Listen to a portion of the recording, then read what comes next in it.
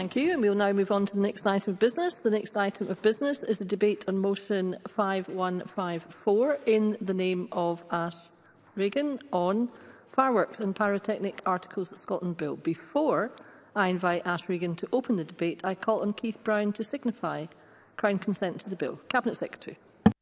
Thank you, President Officer. For the purpose of Rule 9.11 of the Standing Orders, I advise the Parliament that Her Majesty, having been informed of the purport of the Fireworks and Pyrotechnic Articles Scotland Bill, has consented to place her prerogative and interests, insofar as they are affected by the Bill, at the disposal of the Parliament for the purposes of the Bill. Thank you, Cabinet Secretary. And we are now able to begin the debate. I invite those members who, who wish to speak in the debate to please press the request to speak buttons. I call on Ash Regan, Minister, to speak to and move the motion. Up to seven minutes, please. Thank you, Presiding Officer. I feel uh, very passionately about this groundbreaking legislation, and we know that without the protection that this bill provides, many people and animals will continue to be affected by the use of Excuse me, presiding officer. I feel I may not have got to the right place in my speech due to being called a little bit earlier than I was expecting to be. Let me start again, presiding officer.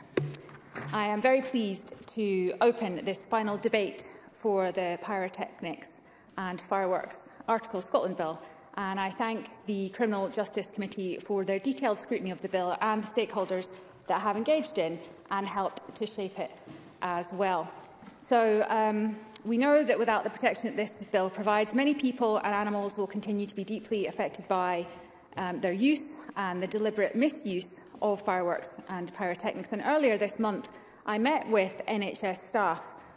from the Scottish National Burn Centre at Glasgow Royal Infirmary.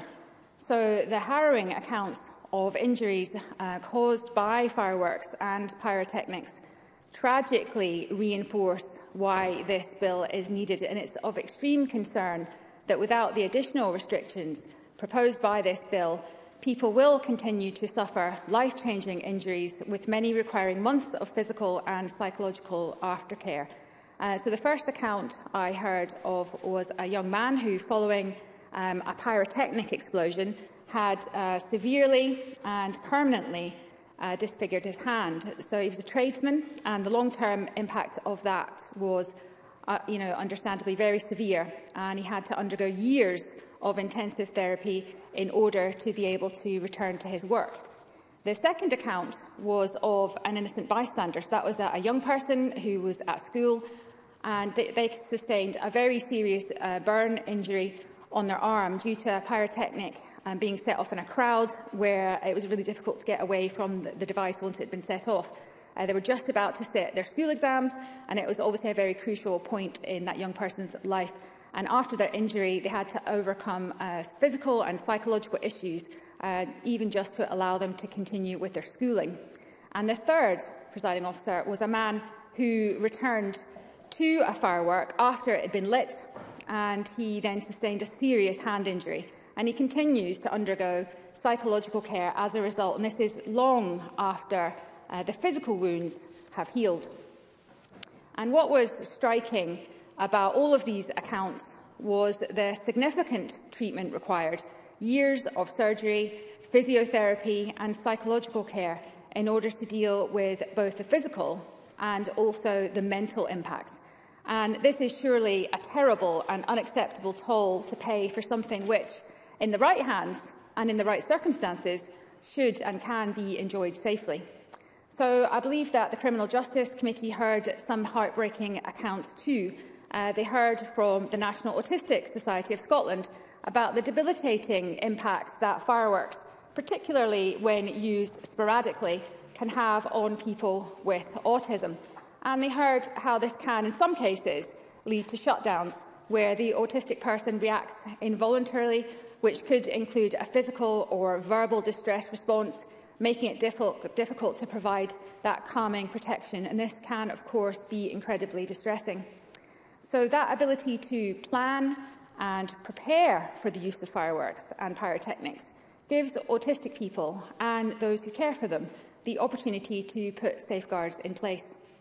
And of course, the committee also received evidence on the sickening attacks on our emergency service workers when they're putting themselves on the line in order to keep our communities safe. And, presiding officer, I don't want to believe that anyone in this chamber wants to see people in Scotland physically or mentally harmed, and nor do they want to see autistic people acutely distressed or to hear about our emergency service workers being exposed to such sickening attacks. So, in taking this legislation through Parliament, I listened to arguments that we should just, you know, stick with the status quo, that convictions and prosecution numbers are low and that injuries from, fire, from fireworks and also from pyrotechnics are rare. But these arguments uh, failed at the time and they still fail to be convincing and they failed to persuade me and perhaps more crucially, they failed to persuade the dedicated staff at the Burns Clinic that I met in Glasgow earlier this month. So moving on to the core policies of the bill. They are the result of extensive consultation, engagement and evidence gathering and first the firework licensing system. So that will put in place robust checks and balances by requiring applicants to undertake mandatory training. Secondly is the proxy purchasing offence, which makes it clear that any adult supplying fireworks or pyrotechnics to a child without a legitimate reason is committing a crime. And thirdly, the bill puts restrictions on permitted days of supply and use of fireworks by the public. And these dates are based on existing firework periods and following engagement with faith groups, strike a balance between allowing people to continue to buy and use fireworks for traditional events whilst limiting their problematic and sporadic use of fireworks. And fourth, local authorities will have the power to designate firework control zones, where it will be an offence for fireworks to be used either by the public or professionals other than in a public firework display or for other essential purposes such as safety checks.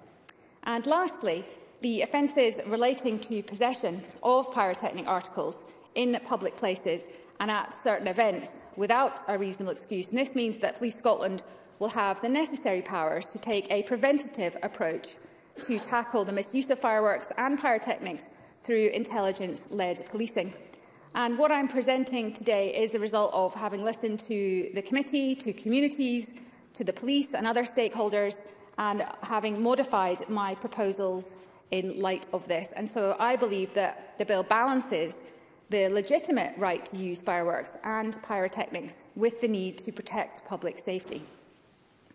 Presiding officer, I accept that fireworks misuse currently presents a number of unusually difficult challenges for the police in particular. The uh, reality is that much of the evidence is literally um, burnt or blown up at the time of the offence.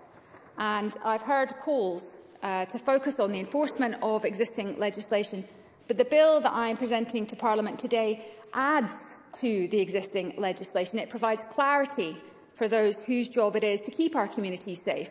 And it puts those robust checks and balances in place to ensure that those who can access fireworks can use them safely and lawfully. So, presiding officer, I'm grateful for the consideration that Parliament has given this bill.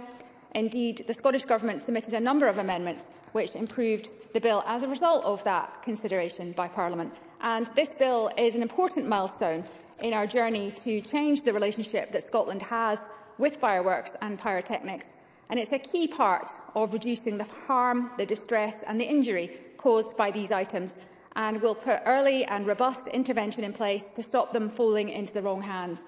And I therefore hope that the whole par Parliament will feel able to support it. So I move that Parliament agrees to the Fireworks and Pyrotechnic Articles Scotland Bill be passed. Thank you, Minister. I would just uh, advise, for the sake of clarity, that this is follow-on business and therefore attention needs to be paid to the progress of the day's proceedings. I now call on Jamie Green. Uh, up to six minutes, please. Thank you. Uh, can I start by uh, thanking uh, the Minister for opening comments?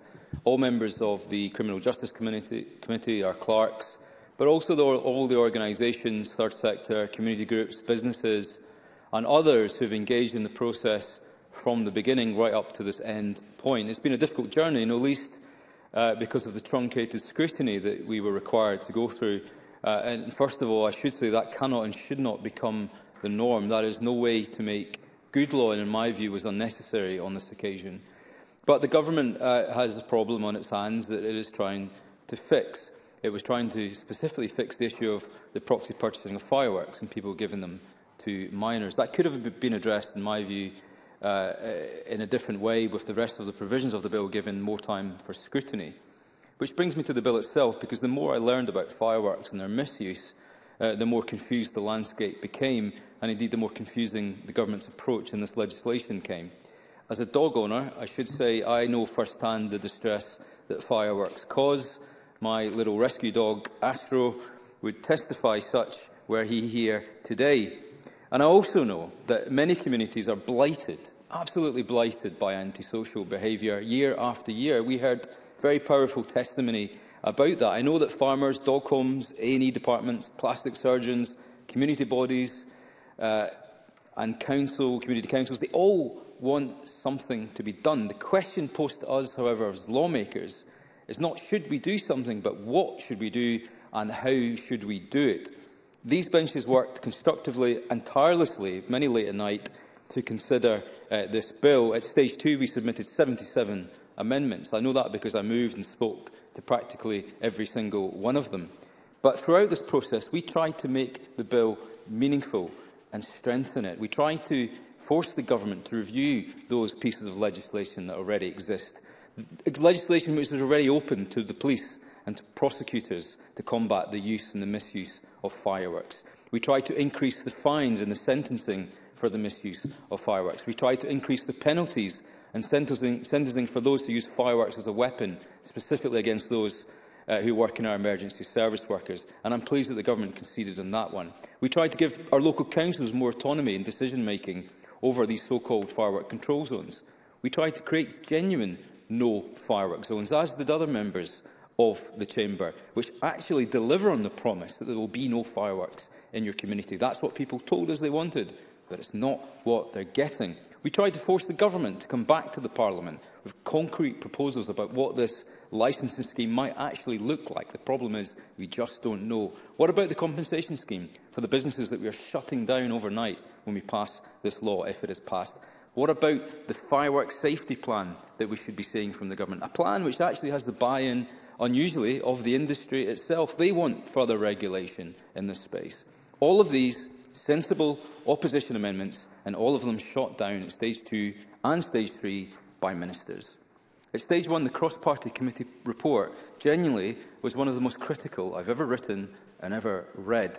And there was no dissent, no disagreement. It was a cross-party effort. At stage two, nearly every amendment was split 50-50 by the committee, all voted down by use, the use of a casting vote. And that's quite telling and quite important. At stage three, the government brought forward few amendments, despite widespread concerns about the bill. Of course, the bill contains some sensible proposals.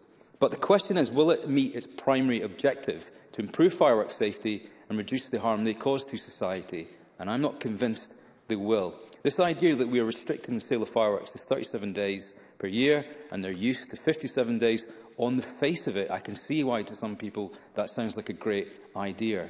But here's the problem. There are genuine, vocal concerns out there about stockpiling, about the black market and the white van man scenario, and this could get worse, not better. The bill randomly selects certain religious festivals but excludes others. I have concerns this will be challenged in the courts. And let's not forget the bizarre situation where the law says you cannot let fireworks off in your backyard to celebrate something out of the defined period. But if you can afford to pay a company to do it, that's fine. 365 days a year. And national exemptions mean even in, in these so-called firework control zones, you might still, still hear fireworks going off and there's nothing you can do about it. It's bonkers and it's nonsensical.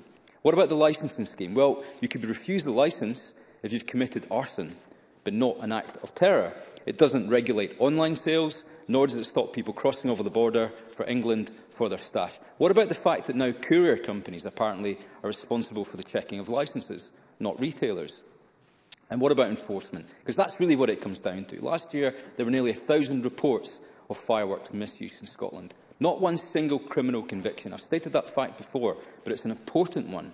There have only been 16 criminal convictions for fireworks-related offences over five years. I make the point that the laws as they currently stand are simply not being enforced, and we should remember that before we start passing new laws further restricting the use of fireworks. Are the police seriously going to respond to every call from every member of the public and turn up with blue lights flashing to see who has let off a firework? I think we all know the real answer to that question.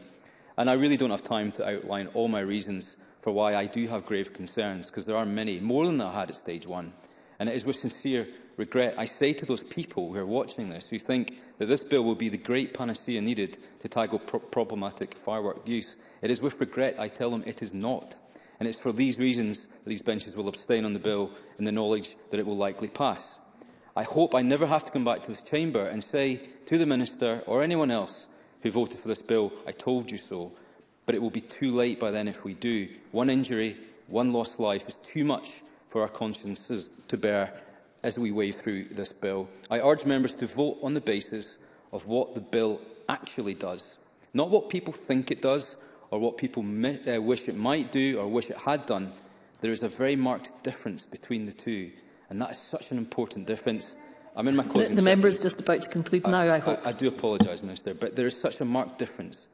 between those two, and that is an important one that we should always remember as legislators when we pass legislation. Thank you, Deputy Presiding Officer. Thank you.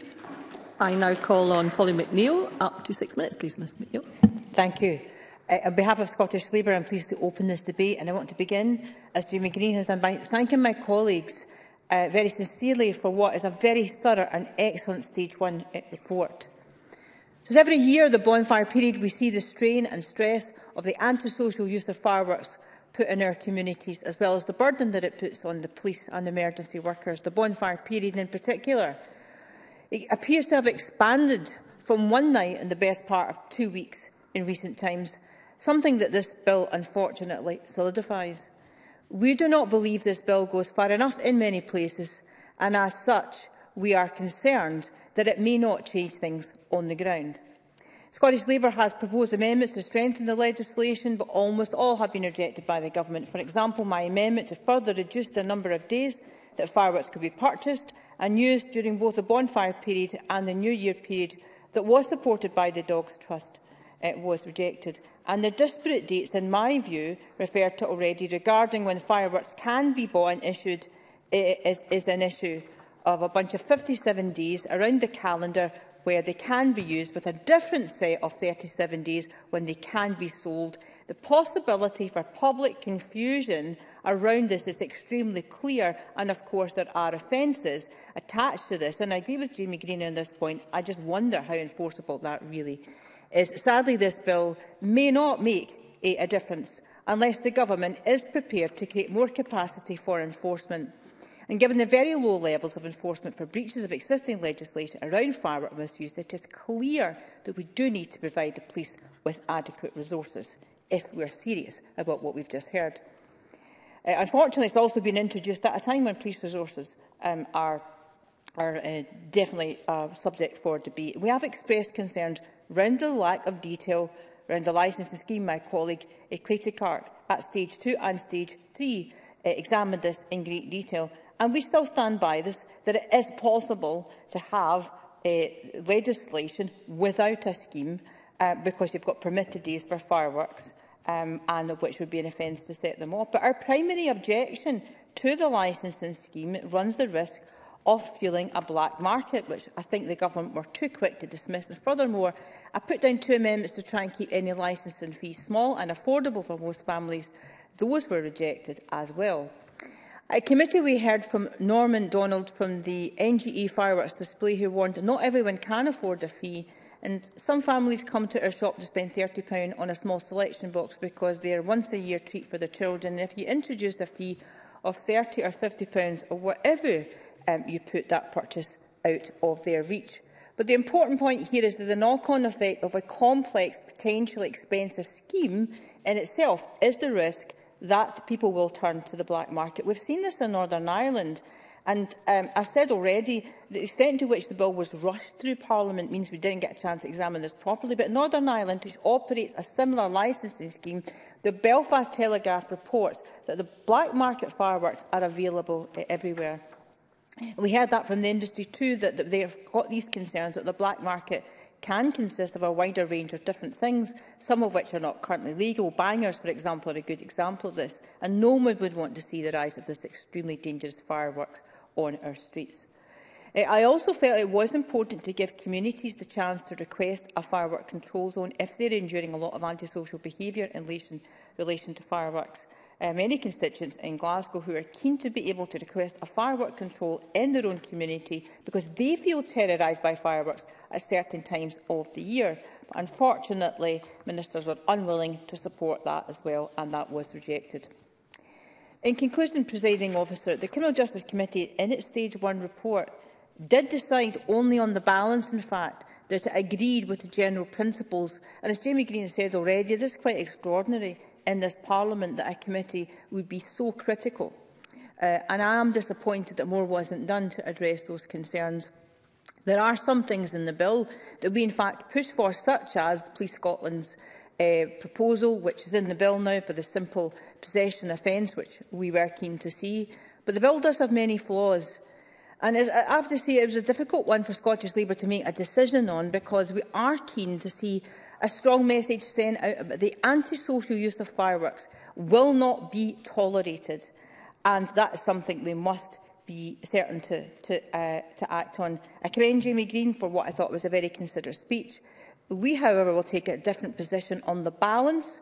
Um, that is, we will support the government tonight on this bill. But I have to say that too is on the balance.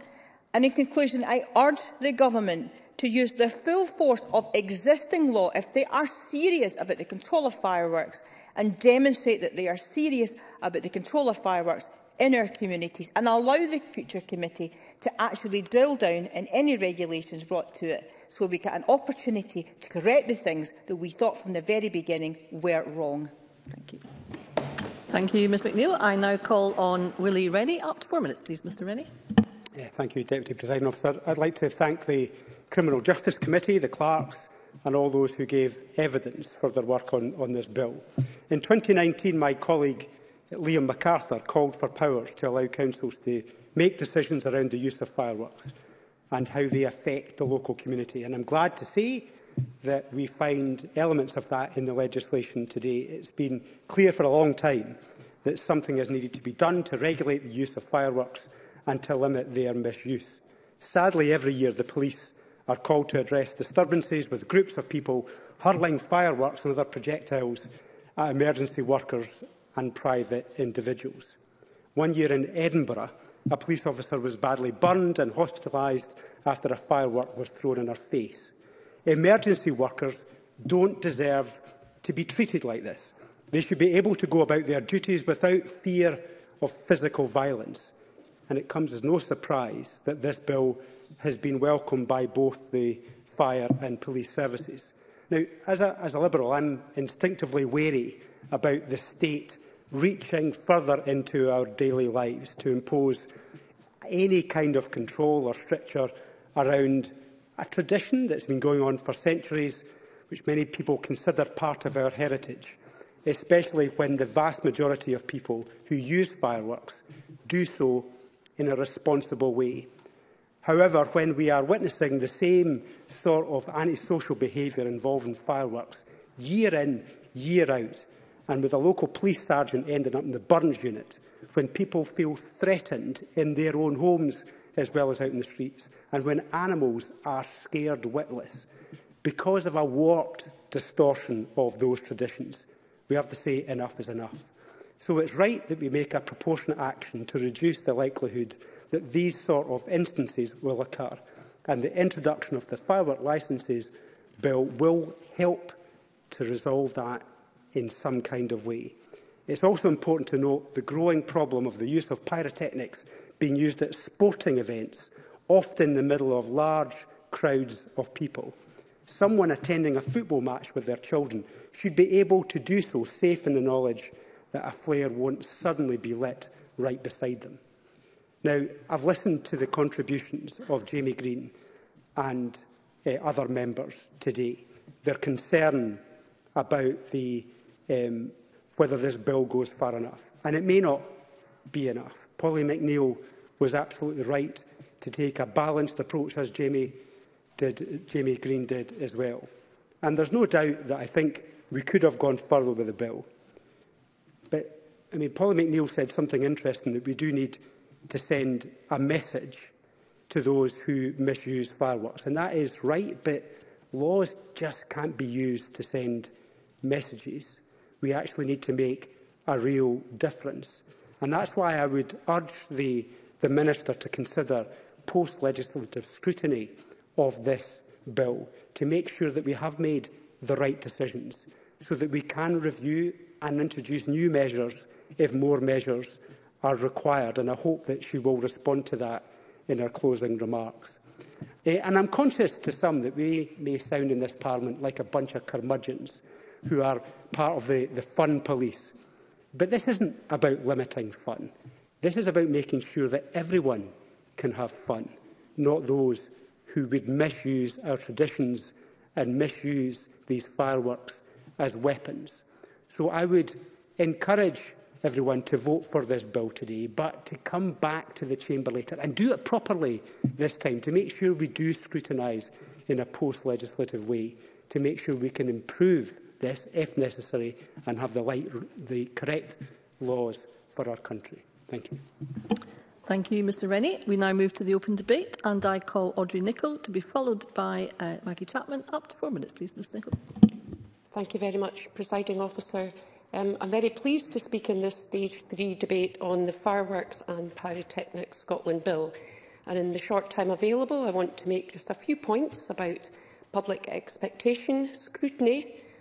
and the harm caused by fireworks. But I again want to thank the Criminal Justice Committee clerking team, SPICE colleagues, our community participation and communications team colleagues, who really supported members uh, throughout what was a challenging journey uh, due to the tight timescales and the breadth of the provisions being considered. And I also want to acknowledge the collegiate and good-humoured way that Criminal Justice Committee members worked together, uh, discussing and probing, challenging and disagreeing, but always respectfully and always in the spirit of making uh, the best law that we could with the provisions set out. So the bill does not ban fireworks. Such a provision would be counterproductive and an unwelcome overreach in legislative provision. Rather, it seeks a culture shift, enabling us all to enjoy fireworks while recognising the public mood has shifted and greater controls are sought to address antisocial use, of fireworks, distress to people, pets and livestock, and of course targeting emergency services workers who are simply trying to do their job.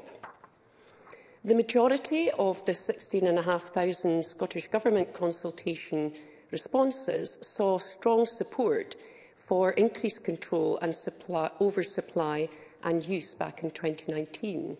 Subsequently, the Fireworks Review Group recommended 11, eh, or I beg your pardon, made 11 recommendations, all tightening the legislative provision around fireworks. And the Criminal Justice Committee uh, digital engagement process similarly saw over 1,600 comments reflecting a desire for tighter controls.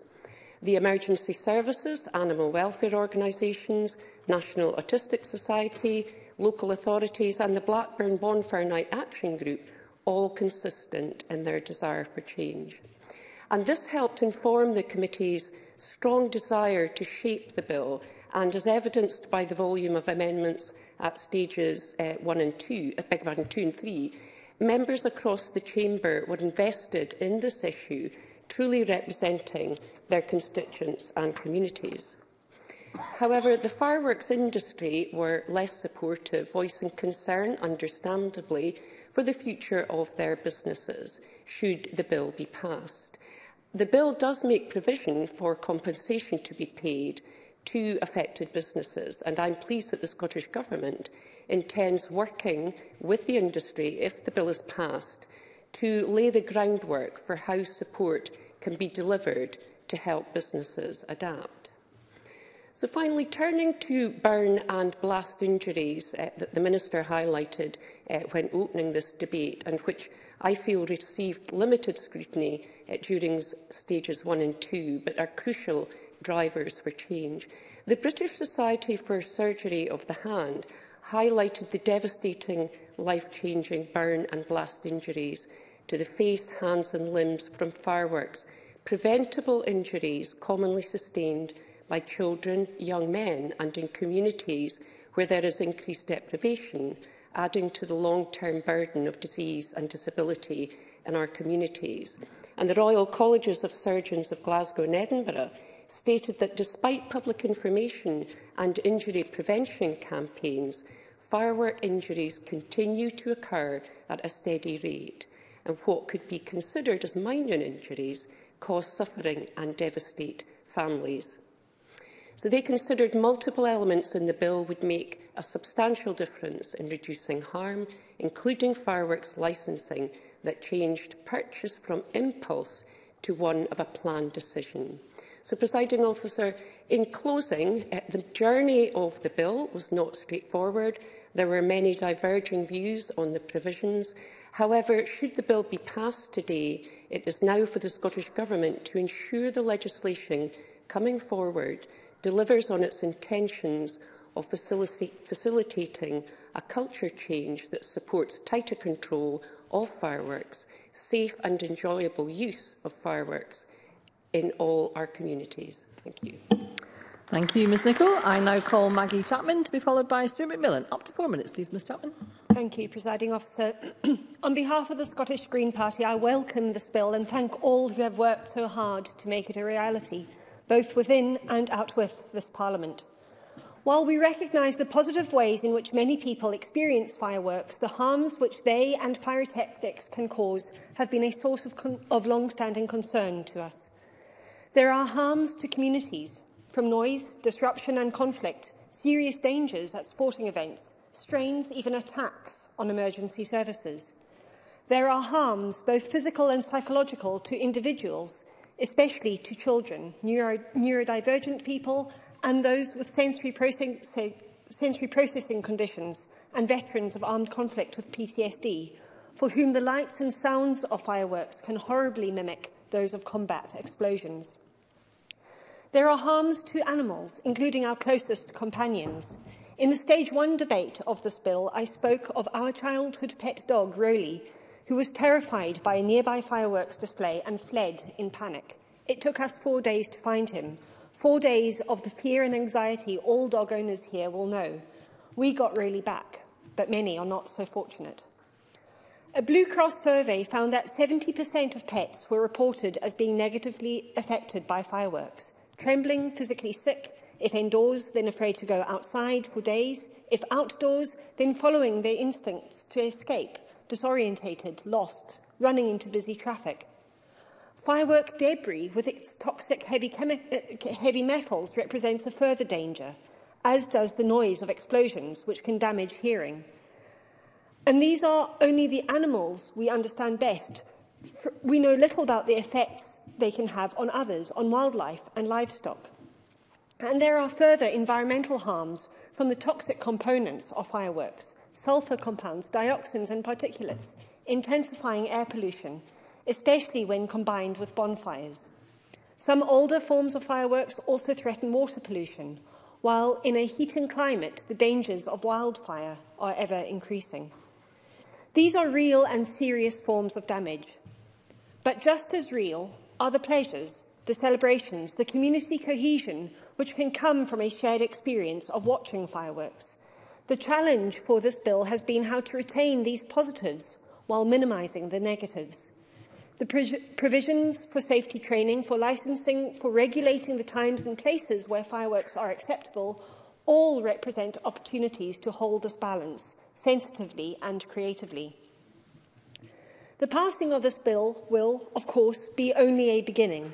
There is much work to be done on the detailed regulations to bring its provisions into effect, and it is vital that this work includes the active participation of communities, real consultation, especially listening to the quietest voices. When the provisions do come into force, awareness and ed education will be essential, and the legislation will need to adapt to new circumstances, to changing cultures and technologies, working to encourage the development and use of low noise, low impact fireworks. In addressing the specific problems of irresponsible firework use, it is important that we do not lose sight of the broader and deeper questions raised, particularly by the Scottish Community Safety Network. What lies beneath attacks on emergency services and other forms of what we describe as antisocial behaviour? How can we build communities with space for exuberance and dissent that do not involve gunpowder and explosion? The jigsaw of devolved and reserved powers has added to the difficulties in both drafting and discussing this bill. It is inevitably a compromise, whatever our perspective, but it is also a paradigm of the process we are all involved in, part of an evolving awareness of human diversity and non-human need.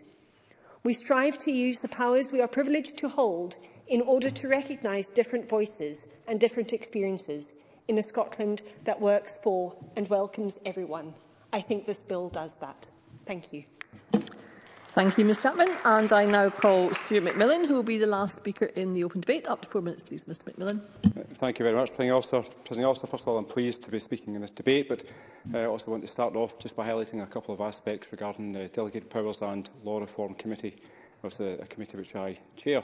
Uh, now, to be clear to the Chamber, I'm not speaking on behalf of the committee today, but I just want to uh, highlight a couple of aspects that we did.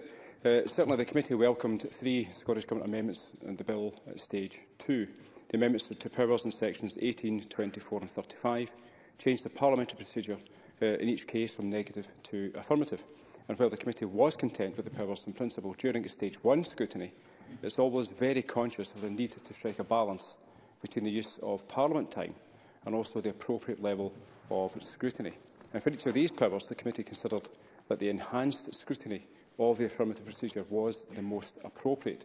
And given that the committee can sometimes challenge the Scottish Government's approach to delegated powers and bills, it's right that we also highlight times when the Government responds positively to the committee's recommendations. And I think this touches upon the point that Maggie Chapman uh, just highlighted uh, regarding the, this particular piece of legislation. Today isn't the end uh, of, uh, of uh, scrutinising uh, this particular legislation uh, as Maggie Chapman indicated, in terms of the future secondary legislation that will come forward uh, in the future. So Parliament scrutiny doesn't end today. There will be more parliamentary scrutiny uh, as, uh, as time goes on. On the policy matters of the bill, I'm pleased that reducing the negative impact of fireworks and pyrotechnics in communities across Scotland is at the heart of this bill. Many people enjoy fireworks, whether it's Guy Fawkes displays uh, or, they're part of a festival performance or family celebration. But we do have to legislate in a way that does not prohibit people from enjoying these things. We'll take into account the harmful impact that the loud noise uh, can have on pets, wildlife and people who have sensory issues, including veterans. And the bill is also an important step towards reducing the burden on emergency services and preparing for and responding to firework-related incidents.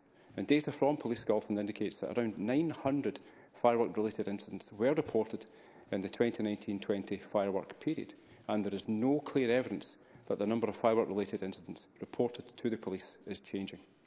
And for the Scottish Fire and Rescue Service, 342 incidents were identified with fireworks as a contributing factor between 2009-10 and also 2019-20, with around half of these incidents occurring on the days around bonfire night.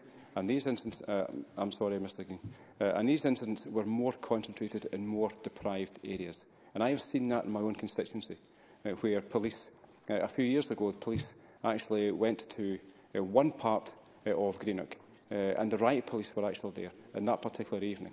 And it was horrendous to see the scenes that took place that night. Presiding officer, it's clear then that there are considerable financial costs and resource implications for Police Scotland and the Scottish Fire and Rescue Service to plan and prepare for the 5th of November and the period leading up to it each year. There's also an impact On the NHS and ambulance service, as common fireworks-related injuries affect hands and heads, as already heard, uh, with mortars and rockets responsible for the majority of serious eye and hand injuries. These often require that specialist treatment, surgical intervention, and can sometimes, as we know, be fatal. Fireworks can also pollute the air with gases, particles and other elements that are potentially harmful to human health and the environment. Another reason why this bill is so important. Presiding officer, tougher action on the sale and use of fireworks and tackling the misuse of pyrotechnics has clear public support. I know that from people who have contacted me about this bill. I know this bill will be supported in my constituency. I believe this bill will be welcomed by many constituents across the country, particularly those who are veterans, have sensory issues or live with someone who has sensory issues, and also pet owners, as others have, have highlighted. So with that, I will be pleased to be voting for this legislation tonight. Thank you. Thank you, Mr McMillan. And we will now move to closing speeches. And I call on Katie Clark. Uh, up to five minutes, please, Ms Clark. Thank you, Presiding Officer. And I'm pleased to close this debate on behalf of Scottish Labour. Pauline McNeill and myself have sought to amend this legislation, both in the committee and here in the chamber, with a view to making it more effective and workable. We recognise the significant problem which Scotland has with the antisocial use of fireworks, which we believe is a growing problem. And indeed, we've heard from a number of members today of the extent of that problem.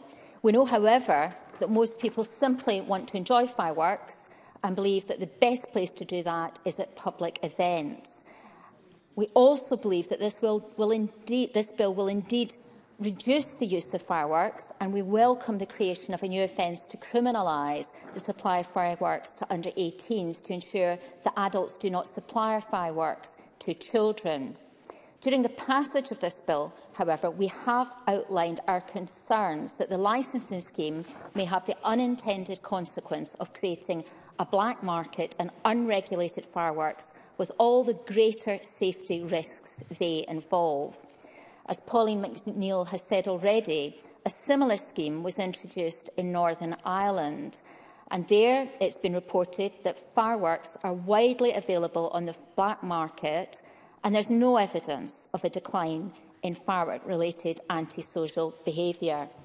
At the stage 2 amendment stage, I also spoke about Italy, where again a similar licensing scheme was introduced, but that seems to have done nothing to address the problems they have there with the very dangerous, unre unregulated um, use of illegal fireworks. At stage one and two, I put down amendments to strengthen the legislation to enable local authorities to create no fireworks zones where all fireworks use would be banned. I believe this is actually what those who have been campaigning for firework reform were actually looking for, and it would have been far simpler legislation.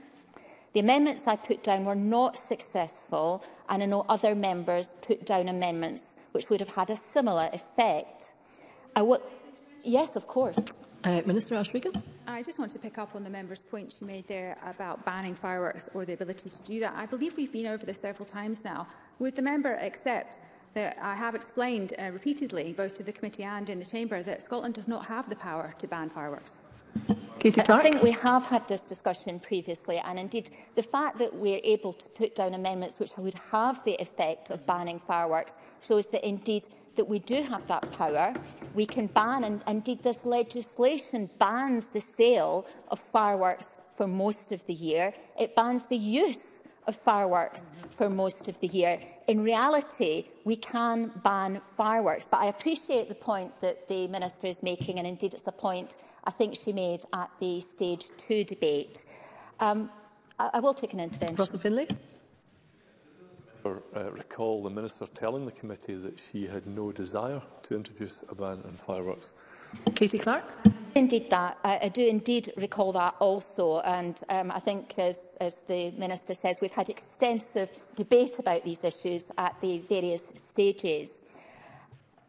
I welcome that the Scottish Government has listened to some of the arguments that have been made and has added private operators to the proposed firework control zone.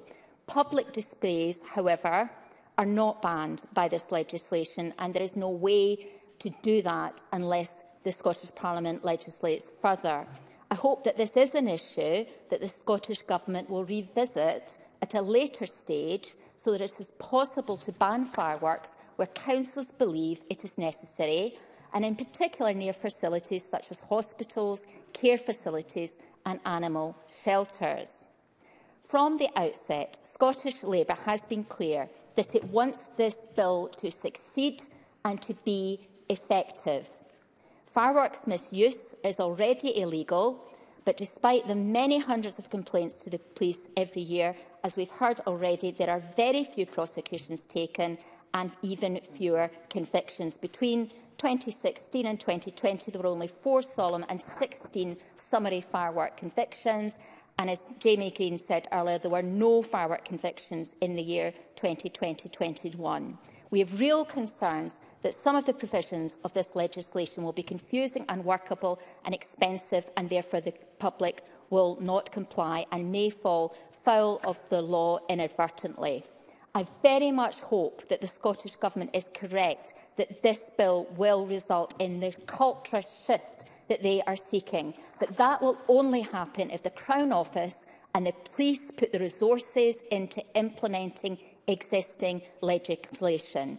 As we've said, we are disappointed that the Government didn't respond further to the Stage 1 report, but because of the new offences that will be created and because we do believe that this bill will reduce the use of fireworks, we will support the legislation when it comes to the vote. Thank you, Ms Clark. I now call on Russell Finlay. Uh, up to five minutes, please, Mr Finlay. Uh, thank you, Deputy Presiding Officer. Um, I usually take interventions, but with so much to cover in five minutes, um, I will not have the time to do so. I also want to begin by saying thank you to the Criminal Justice Committee clerks, the Bills team and those who gave evidence to the committee. Um, when fireworks, well, fireworks are the source of great enjoyment to, to many people, including myself and including the fun-filled Willie Rennie, others regard them as a nuisance or indeed worse. The Scottish Government's Firework Review Group first met in December 2019 and produced its report almost a year later. Now, just 18 months after that, following a fast-track timetable, we have this bill in front of us today. Let's uh, strip it back. It does three main things. One, it requires anyone buying or using fireworks to have a licence. It creates firework control zones and it limits firework use by the public to 57 days per year. Now, many key details remain unknown, with the government effectively saying, trust us, pass the bill, and we'll work it all out later. That's just not good enough. I will now turn to these three main issues. Perhaps the most contentious is licensing. We still don't know how much a license will cost. If we compare the Nor Northern Irish model, it's anticipated that around 1,500 Scots may apply for one, yet up to 250,000 in Scotland buy fireworks annually. What will these people do instead? Our concern is that the SNP's licensing scheme is so badly flawed that it will drive people to a black market. No work has been done on addressing this concern. This risks achieving the opposite of what is intended, a rise in firework misuse and the type of injuries as described by the Minister in her opening statement. At stage two, I secured an agreement from the Minister that applicants for a licence must disclose convictions for fire raising, yet she refused to budge on the disclosure of other convictions, including antisocial behaviour, football violence and even terrorism. My attempts to increase sentencing were also rejected. Now let's look at firework control zones. People might think from their name these will prohibit firework use in these areas. They do not. At stage two, I secured an agreement from the Minister to ban professional displays in private gardens within these zones But public displays will still be allowed. As Katie Clark said, this will not help pet owners, farmers or people with sensory issues who wanted clearly defined areas in which fireworks are completely banned. Then there's the issue of fireworks only being used on 57 days. The government have failed to explain properly how they arrived at these dates. It seems inevitable that other cultural or religious occasions will need to be added in future. The bill limits fireworks sales to 37 days, which surely risks dangerous stockpiling in people's homes. And also, this is a big one, professional companies will still be free to operate 365 days of the year. As with the flawed firework control zones, this will do no nothing for those seeking respite from noise. Presiding officer, this bill has been rushed. My colleague Jamie Green has already explained why, so the proxy purchasing for under-18s could be dealt with quickly, but there was no need to rush. In doing so, we're left with a bill that contains huge gaps and may make existing problems even worse. I've been immersed in this legislation for months and it is still not easily understood. Frankly, it is confusing. The Scottish Conservatives have tried to fix it as best we can. I commend Jamie Green for securing an agreement an aggravator for those using fireworks to attack emergency service workers. I lodged 46 amendments at stage 2 and 12 at stage 3, with some being accepted. Many of my party's concerns can be seen in the stage 2 debate and the Justice Committee's highly critical stage 1 report. Remember, this report was agreed to with the backing of SNP members. It was agreed to in the understanding that the government would address our points of concern. They have failed to do so. So many critical questions remain unanswered.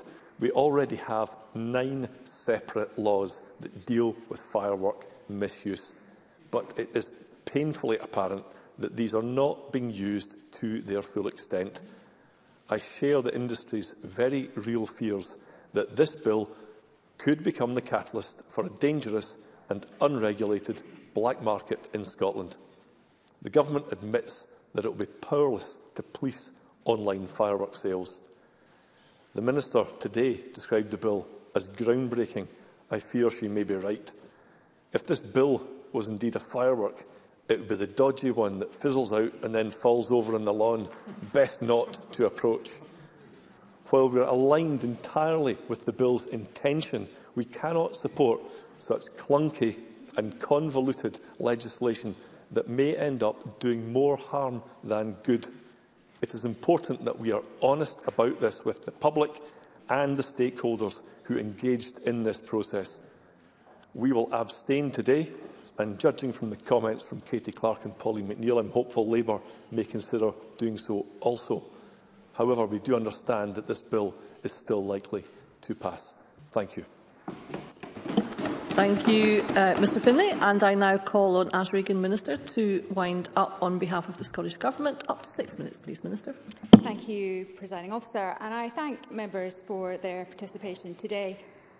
And in my opening statement, I shared the stories of just a few people in Scotland whose lives have been changed forever due to horrific firework and pyrotechnic-related injuries. And sadly, this is merely the tip of the iceberg of the wide-ranging distress and harm that the people of Scotland experience due to fireworks and pyrotechnics.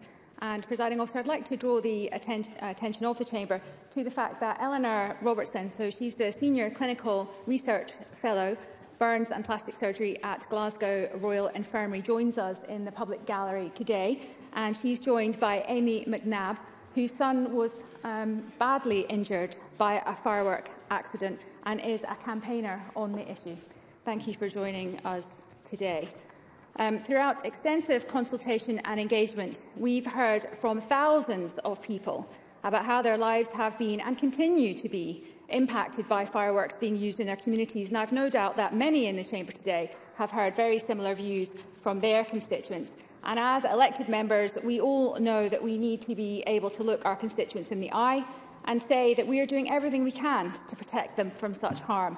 And I think it's important to highlight that while Issues around fireworks misuse featured strongly during the consultation.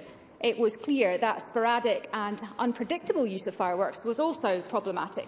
And one heartbreaking example that I was recently made aware of was of the untimely passing of a much-loved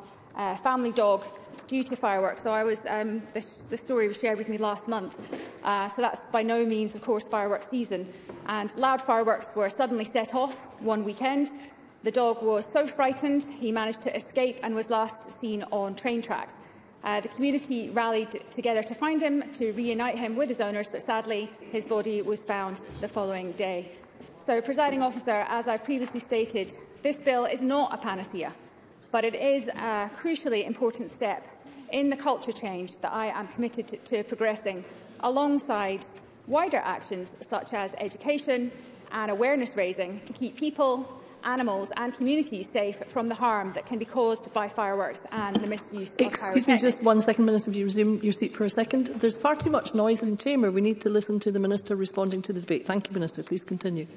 Thank you, Presiding Officer. So turning now to some of the contributions that we heard this afternoon. The Conservatives' contributions, I'm afraid to say, Presiding Officer, I felt were quite dismal.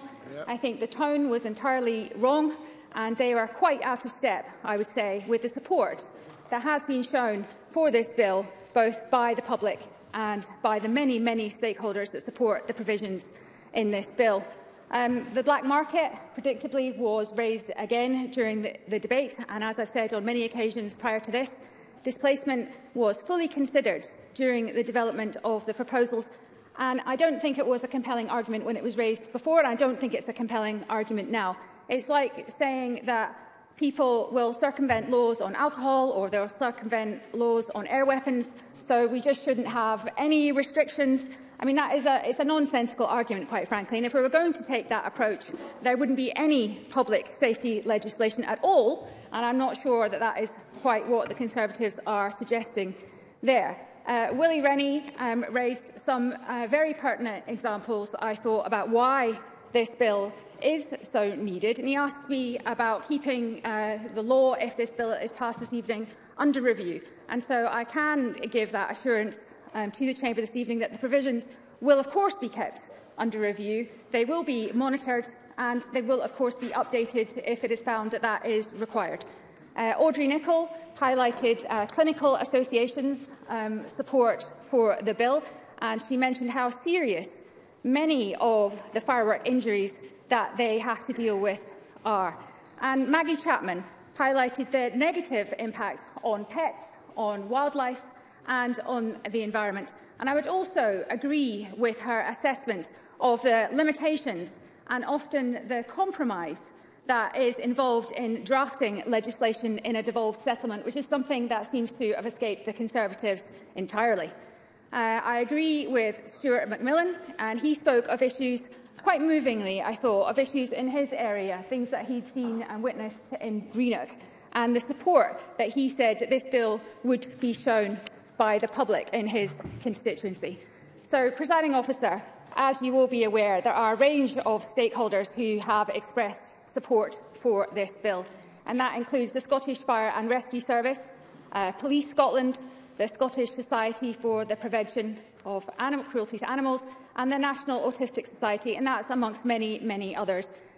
And just last week, a coalition of seven medical institutions, including the British Medical Association and British Burn Association, wrote to me to express their support for the bill. And their letter highlights that the associations welcome the legislation and believe that it will ensure that while fireworks will still be able to be enjoyed, this can be done more safely and, eh, and more responsibly as well. So I was particularly struck by the sobering observation that was made by the president of one of the associations, who said that if this new legislation prevents just one severe burn or one mutilating eye or hand injury, it will all have been worthwhile. And I agree. If Parliament passes this bill here today, we will be taking a significant step forward to reducing the harm, reducing the distress and reducing the injuries that can be caused by fireworks and pyrotechnics. And I know that safety and well-being of the people of Scotland is something that all members, regardless of our party affiliations, will agree is of prime importance. And it is a worthy aim to be united in working towards. And for that reason, I invite members to agree to the passing of this bill. Thank you, Minister. That concludes the debate on Fireworks and Pyrotechnic Articles Scotland Bill, and it is now time to move on to the next item of business.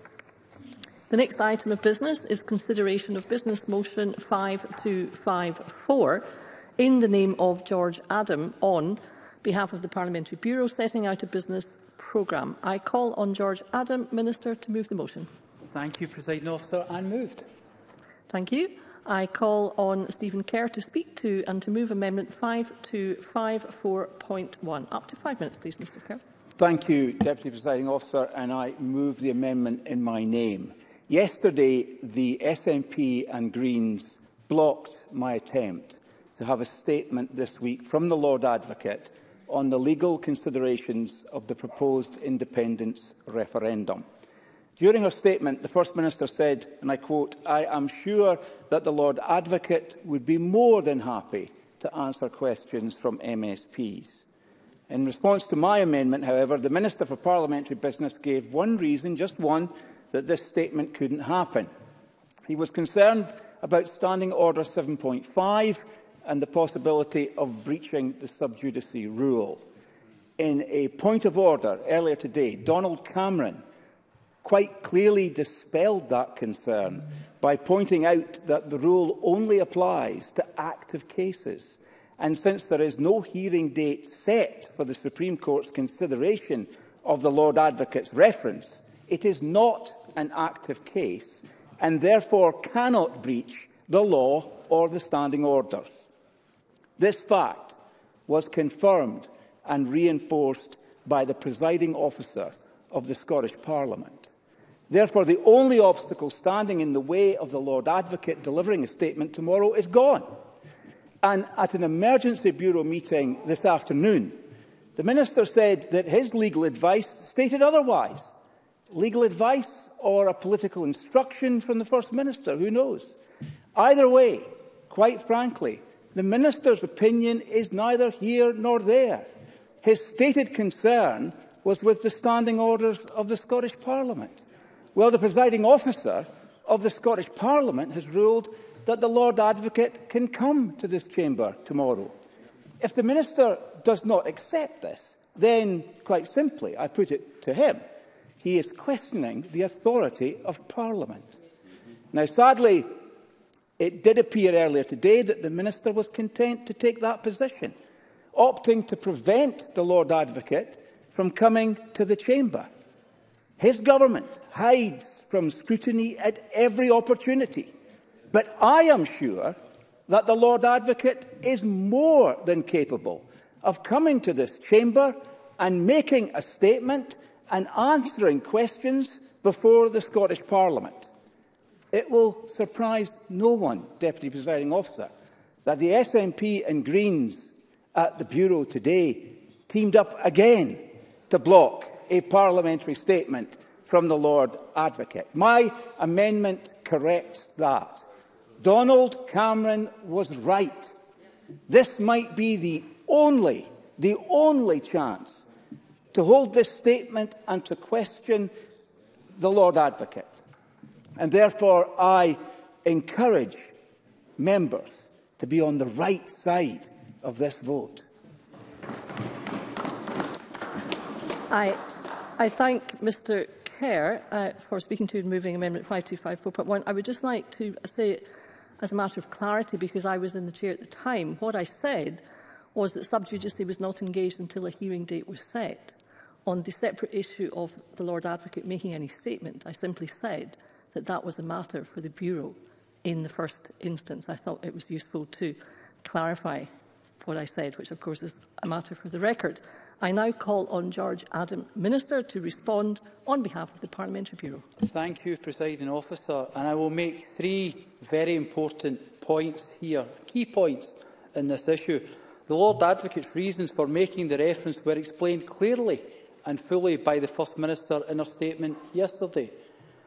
My second point is the substantive issues in the reference are now before the Supreme Court, regardless of the precise application of standing orders, and, in, and the Court should be allowed to fulfil its function without political discussion of the merits.